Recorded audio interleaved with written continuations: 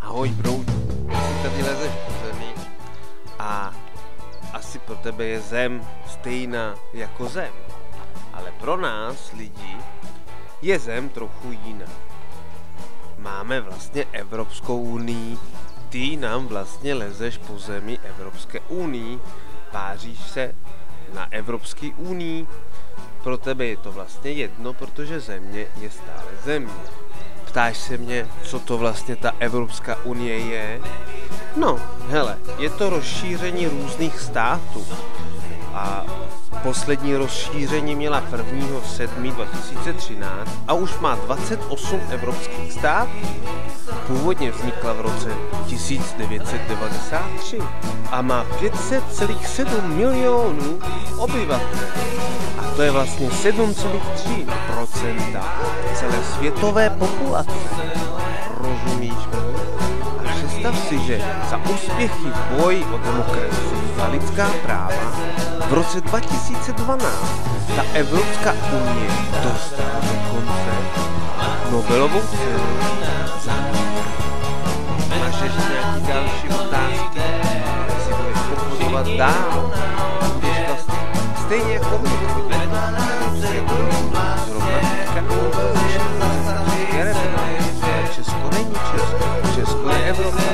Nemáme hlavní město. Ne, to je jenom region.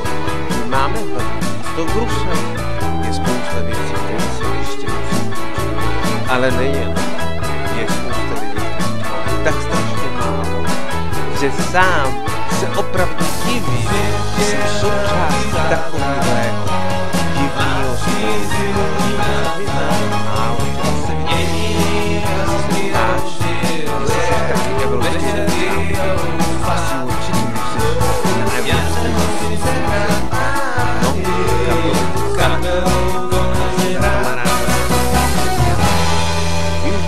dávno. No a určitě se mě ještě zeptáš, jaký státy patří do Evropské unie. No, Belgium, Bulharsko, Česko, Dánské království, Finská republika, Francie, Chorvatsko, Irsko, Itálie, Kyperská republika, Litevská eh, republika, Lotyšsko, Lucembursko, Maďarsko, Malsko, Německo, Nizozemsko, Polsko, Portugalsko, Rakousko, Rumunsko, Řecko, Slovensko, Slovinsko, Velká Británie, Severní Jirsko, Španělsko a Švédsko. Všechno to tam je. Na další otázky si klidně obrať na jakýkoliv webové stránky nebo na jakýkoliv místa.